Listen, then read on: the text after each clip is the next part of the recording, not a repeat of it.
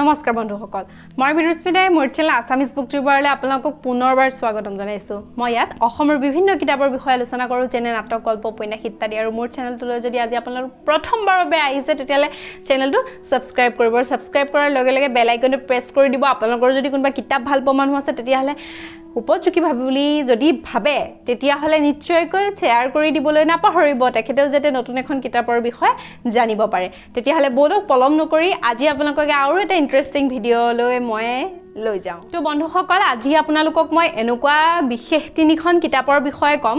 যি তিনিখন কিতাপ পঢ়িলে হয়তো আপোনালোকে অসমীয়া চুটিগল্প অসমীয়া গল্প আৰু অসমীয়া সাহিত্যৰ পাশ্চাত্যৰ প্ৰভাৱনো কেনেকৈ পৰিছে সেই বিষয়ে আপোনালোকে জানিব পাৰিব।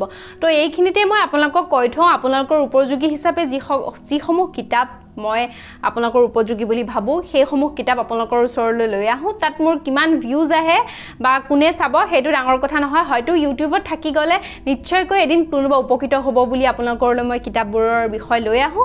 তো ভাল পালে আপোনালোকে কমেণ্ট এটা কৰিবলৈ নাপাহৰিব পাৰিলে লাইক এটা কৰি দিব। তেতিয়াহ'লে ব'লক আজিৰ প্ৰথম কিতাপখননো কি আমি চাওঁ? প্ৰথমখন কিতাপ হৈছে অসমীয়া সাহিত্যত প্ৰাচাত্যৰ প্ৰভাৱ সম্পাদক ডক্টৰ নাৰায়ণ দাস আৰু ডক্টৰ পৰমানন্দ ৰাজবংশী। অঁ তেতিয়াহ'লে এইখনৰ দাম মাত্ৰ দুশ টকা আৰু প্ৰকাশন হৈছে চন্দ্ৰপ্ৰকাশ।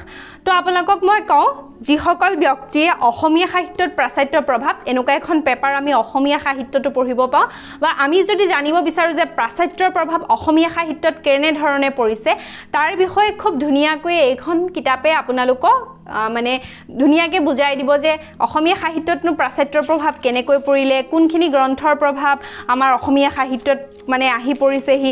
বা অসমীয়া সাহিত্যৰ কেনেকুৱা ধৰণৰ কথা মানে ইয়াত আছে। যেনে ডক্টৰ হীৰেণ গোহাঁয়ে ভূমিকা আধুনিক অসমীয়া সাহিত্যত প্ৰাচাত্যৰ প্ৰভাৱ কবিতাৰ বিশেষ উল্লেখনেৰে সৈতে খুব ধুনীয়াকৈ হীৰেণ গোহাঁয়ে লিখিছে। তাৰ পাছতে তেনেকৈ অসমীয়া সাহিত্যৰ বিভিন্নজন লেখক বা সাহিত্যিকে এইখন মানে এইখনত মানে খুব ধুনীয়াকৈ সম্পাদিত কৰি দিছে এই দুজন ব্যক্তিয়ে। তেওঁলোক হৈছে ডক্টৰ নাৰায়ণ দাস আৰু ডক্টৰ পৰম পৰমানন্দ ৰাজবংশীয়ে মানে যিসকল আমাৰ লেখকসকলে মানে ধৰি লওক কাকতে পত্ৰই লিখি থাকে তেওঁলোকৰ খুব ধুনীয়া লেখনিসমূহ ইয়াত যুগুত কৰি সম্পাদনা কৰিছে। আৰু ত্ৰৈলক্যনাথ গোস্বামীয়ে আধুনিক প্ৰাচাত্য নাট্য সাহিত্যৰ কথা কৈছে।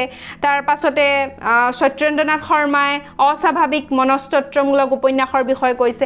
আপোনালোকে বিভিন্ন ধৰণৰ সোৱাদ এইখনৰ পাব যিয়ে আপোনাৰ অসমীয়া সাহিত্যত মানে একদম কেঁচাৰ পৰা পকা খিলাৰী বুলি যে হৈ যায় যে কয় ন সেই তেনেকুৱা কৰি দিব যিয়ে আপোনাৰ অসমীয়া সাহিত্য প্ৰচুৰ পৰিমাণৰ জ্ঞান আপোনালোকক দিব। চ' এইখন কিতাপো আপোনালোকে কিনিবলৈ চেষ্টা কৰিব। ইয়াৰ পাছৰ কিতাপখন হৈছে অসমীয়া চুটিগল্পৰ গতি প্ৰকৃতি আৰু সম্পাদনা কৰিছে ডক্টৰ অৰবিন্দ ৰাজখোৱা। ত' ত' এইখনৰ দাম মাত্ৰ দুশ আশী টকা আৰু পাব্লিছ কৰিছে নৰ্থ লখিমপুৰ কলেজ পাব্লিকেশ্যনে। তো এইখন কিতাপে আপোনালোকক অসমীয়া সাহিত্যৰ গল্পৰ সোৱাদ খুব ধুনীয়াকৈ দিব পাৰিব মই কৈছোঁ। কিতাপখনক মানে দুটা ভাগ কৰা আছে। ধৰি লওক মানে দ্বিতীয় পৰিচ্ছেদ আৰু প্ৰথম পৰিচ্ছেদ। প্ৰথম পৰিচ্ছেদত আপোনালোকে অসমীয়া চুটিগল্পৰ আভাস পাব। অসমীয়া চুটিগল্পত প্ৰাচাত্য প্ৰভাৱৰ বিষয়ে জানিব। জোনাকী আবাহন ৰামধেনু ৰামধেনুৰ পৰৱৰ্তী অসমীয়া চুটিগল্প আদি বিভিন্ন ধৰণৰ চুটিগল্পৰ কথা আপোনালোকে জানিব আৰু চুটিগল্পৰ গতি প্ৰকৃতি কেনেকুৱা ইতিহাস প্ৰণয়নৰ কলা এনেধৰণৰ বিভিন্ন বিষয় পঢ়াৰ উপৰিও আপোনালোকে দ্বিতীয় পৰিচ্ছেদত লক্ষ্মীনাথ বেজবৰুৱাৰ মুক্তি গল্পটো মানে মৌচুমী চেতিয়াই মানে কোনো বৰ্ণনা কৰিছে। ধৰি লোৱা তেনেকেই চৈয়দ আব্দুল আব্দুল মালিকৰ পানীগছা চৈয়দ আব্দুল মালিকৰ আখোজা চৈয়দ আব্দুল মালিকৰ স্পন্দন চৈয়দ আব্দুল মালিকৰ তিনিচকীয়া গাড়ী লগ বীৰেন্দ্ৰ কুমাৰ ভট্টাচাৰ্যৰ এজনী জাপানী ছোৱালী তাৰপাছত ভৱেন্দ্ৰনাথ শইকীয়াৰ এলান্ধু ভৱেন্দ্ৰনাথ শইকীয়াৰ পহৰী লক্ষীনন্দন বৰাৰ দেৱতাৰ ব্যাধি মামণি ৰয়চমৰ উদং বাকচ পূৰবী বৰমুদৈৰ ফুলপাহৰ শব্দ আৰু অসমীয়া সাহিত্য একাডেমী বঁটাপ্ৰাপ্ত চুটিগল্প সংকলন মুনীন বৰকটকী বঁটাপ্ৰাপ্ত অসমীয়া চুটিগল্প সংকলন অসমীয়া চুটিগল্পৰ কেইটামান গুৰুত্বপূৰ্ণ সংকলন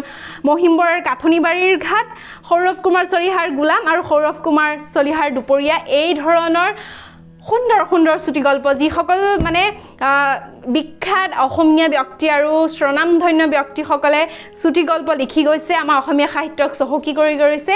তেনেকুৱা মানে কৈছোঁ আৰু মই আপোনালোকে পঢ়িলে গম পাব এইখন আপোনালোকে কিনি পেলাওক।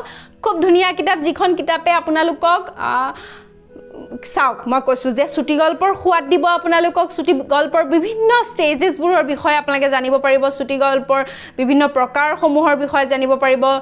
এভৰিথিং আপোনালোকে সকলো জানিব পাৰিব।